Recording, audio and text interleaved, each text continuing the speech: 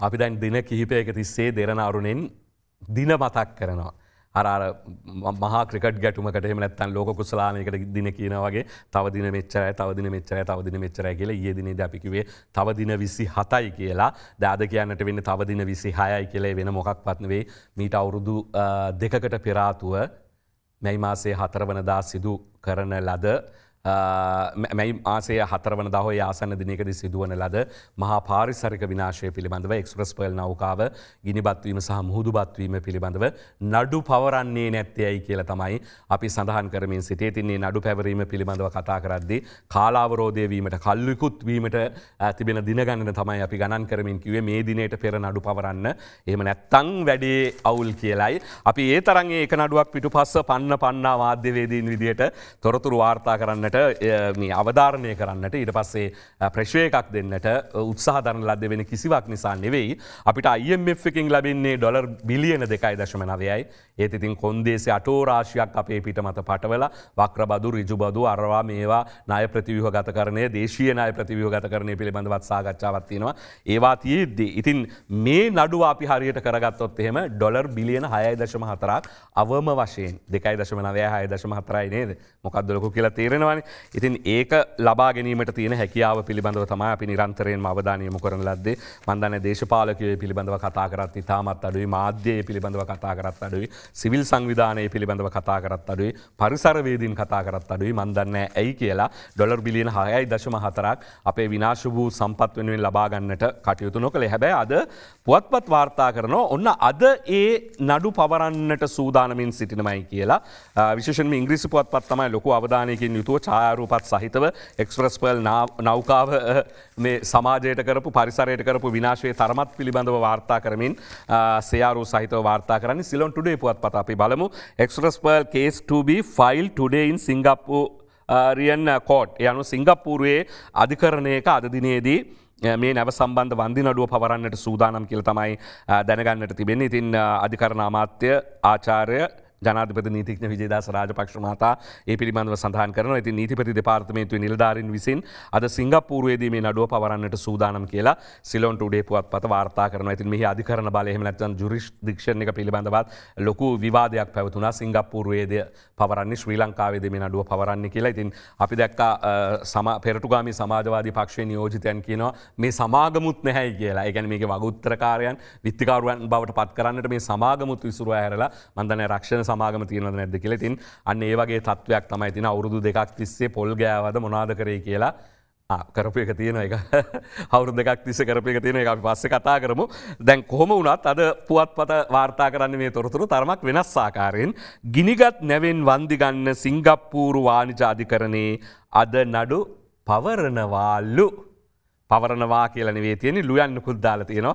පවරණවාල්ලු දැන් ලුයන් අහක් කරලා පැවරවා කියලා හෙට දිනේදී වාර්තා කරන්නට ශ්‍රී ලාංකය පුරවැසියන් විදිට ශ්‍රී ලාංකීය පුරවැසි මහදවේදියෙක් විදිට මට වාසනාව ලැබේවා කියලතින් ම ප්‍රාර්ථනා කරන ඉතින් ඒකම අවුරුදු දෙකක් තිස්සේ මොකක්ද කරේ කියලා කවරුවර යහනවනං එක දන්නවනිතින් අධිකරන ඇමතිතුමාම සඳහන් කරා මාධ්‍යදිරයට ඇවිල්ලා ඩොලර් මිලියන දෙකයි දශම පහක.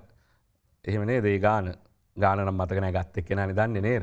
ජරාවක් කාලතියන පගාවක් අරන්තියනවයි කියල පිළිබඳව අල්ලස් දූෂණ විමර්ශන කොමිසන් සභාවට සහ අපරාධ පරීක්ෂණ දෙපාර්තමේන්තුර CIDට පැමිනිල්ලක් කලේ විමර්ශන තාරම්භ වෙලා තියෙනවයි කියල තමයි අධිකරණ අමාත්‍යවරයා සඳහන් කරන ලද්දේ ඉතින් මේ පුද්ගලයා දේශපාලකයෙක්ද එමනැත්තං නිලධාරියෙක්ද එමනැත්ත වෙන කවරුහරිද කියන්නට හැකියාවක් ඇත්තේ නැහැ. ඉතින් ඒ නොකියවන හේතුව නිසාම විධ පුද්ගලයන්ට ඇගිල්ල දික්වීම නිසා සමහර පුද්ගලයන් නිරපරාදේ අපහාසයට උපහසයට ලක්වෙන එක ඉතාමත් වැරදි දෙයක්. අද මෞබිම පුවත් පත කියන එක්ස්ප්‍රස්පල් වන්දි නඩුව දර්ශන හඳුන් ගොඩට එරහිව නීතිපති දෙපාර්තමේන්තුවෙන් පැමිනිල්ලක් ඉදිරිපත් වෙලා තියෙනමයි කියල තමයි මේ පිළිබඳව වාර්තාාවී තිබෙන්නේ. තින් ඒ අනුව මේ නම එලිදරව් නොවීම නිසා විවිධයට ඇගිල්ල දිගුවීම නිසා සමහරය අපහසුතාවට පත්වන්නට පුළන් ඉතින් එක්ස්ප්‍රස්පල් නෞකාවෙන් මෙරට සාගරයට වූ හානිය සම්බන්ධය නඩු පැවරීමේදී පෞද්ගලික වාසි සඳහා කටයුතු කර ඇති බවට සමාජ මාධ්‍ය ක්‍රියාකාරිකයකු වන දර්ශන හඳුන් ගොඩ නැමැත්තා කළ ප්‍රකාශයක් සම්බන්ධයෙන් අපරාධ පරික්ෂණ දෙපාර්තමේන්තුව විමර්ශනයක් ආරම්භ කරනවා. නීතිපති දෙපාර්තමේන්තුව නිලධාරින් දෙදෙනෙකු විසින් අපරාධ පරික්ෂණ දෙපාර්තමේන්තුවට මේ සම්බන්ධයෙන් කරන ලද පැමිණිල්ලක් අනුව මෙම විමර්ශන ආරම්භ වී තිබෙන අතරේක සොලිසිට ජනරාල් විකුම් අනුන්ද ආබ්‍රහා රජ අධිනීතික්න නයෝමි කහවිට විසින් මෙම පැමිණිල්ල කරනු ලැබ ඇති අතර ඒ අනුව ඉදිරියේදී දර්ශන හඳුන් ගොඩ නැමැත්තාගෙන් ප්‍රකාශයක් ලබා ගැනීමට නීමිත බව ජේෂ්ඨ පොලිස් නිලධාරයකු පුටා දක්වමින් අද වාර්තා කර සිටිනවා මවබිම පුවත් පතිතින් ඒ එක්කම දැන් මීපායක තමයි මේ සමුද්‍රීය පරිසර විනාශයන් සම්බන්ධයෙන් නිසි බලය තිබෙන්න්න වූ රාජ්‍යායතනය ඒ හිටපු ප්‍රධානීය ප්‍රධාන චයාපර්සන් කියලක මුණේ චයාමන් කියන්නට බෑ. චයාපර්සන් uh, මේ පිළිබඳව මාධ්‍ය ඉදිරියට පැමිණ uh, ඒත් කියා සිටිනවා විජේදාස රාජපක්ෂ ඇමතිවරයාට. මේ කෞද මේක කරේ කියලා කියන්නට කියලා ඉංග්‍රිසි පුවත් පත් පමණ ඒ තොරතුරාද uh, වාර්තා කර තිබුණේ. අපි බලමු මෝනිින් පුවත් පත අද මෝනිින් පුවත් පත වාර්තා කරනවා නේ මැලිගේට් බ්‍රයිබ් ටේක ඩිමාන්ස් ෆෝර්ම මීපාචයා චයාපර්සන්.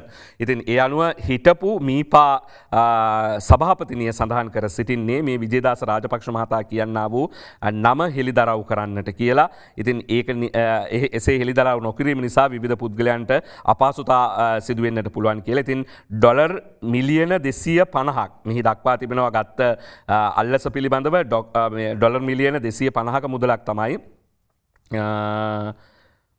මේ විදිහට අල්ලස් විදිහට ගත්තයි කියන් ඉතින් දර්ශනී ලහඳපුර මහත්මිය ඒ දිනේදී කියනවා මේ ගත්ත පුද්ගලයාගේ නම හෙළි දරව් කරන්නට කියල. තින් ඒකම දේශපාලක්ඥයනම් හරි අඩුවෙන් මේක ගැන කතා කරය අපි දන්න ඇයි කියලා යාල්වෙද දන්න අරන්තයන කොහොමුණත් එක දේශපාලකයෙක් ඒ දිනේදී අපි දැක්ක මාධ්‍යහමුවක් ඉදිරියට පැමිණ මාධ්‍ය ඉදිරියේ කියනවා මේක අනිවාර්යෙන්ම හෙළි දරව් කරන්නට ඕනේ ආධිකරණ අමාත්‍යවරයා විසින් කියලා. ඒ තමයි විමල් වීරවංශ මහතා. ඉතින් විමල් වීරවංශ මහතාගේ අභියෝගයාද මවබිම පුවත් පතේ පලවෙනවා එක්ස්ප්‍රස් පල් වන්දිය වලක්වන්න පගාවගත් පුද්ගලයා හෙළි කරන්න විමල්ගෙන් විජේදාස්සට අභියෝගයක් කියල තමයි එහි දක්වා තිබෙන්නේ. ඉතින් ඔහුත් කියා සිටින්නේ මේ නම කියන්නට කියලා. එක්ස්ප්‍රස් පල් නැව ගිනිගැනීමෙන් මෙරට මුහදු තීරයට වූ හානිය වන්දී ලබා ගැනීම වැලක්වීමට ඩොර් මිලියන දෙසී පහක පගාවක්ගත් පුද්ගලයාගේ නම වහම හෙළිකරන ලෙස ජාතක නිදහස් පරමුණේ නායක පාලිමිතු මන්ත්‍රී විමල් වීරවංශ විසින් අධිකරන අමාත්‍ය විජේදාස රාජපක්ෂට අභියෝගයක් කරන ඇති විජේදාස රාජපක්ෂ අමාත්‍යවරයා මෙම කරුණ පිළිබඳව දිගින් දිගටම ප්‍රකාශ කරමින් සිටින බවද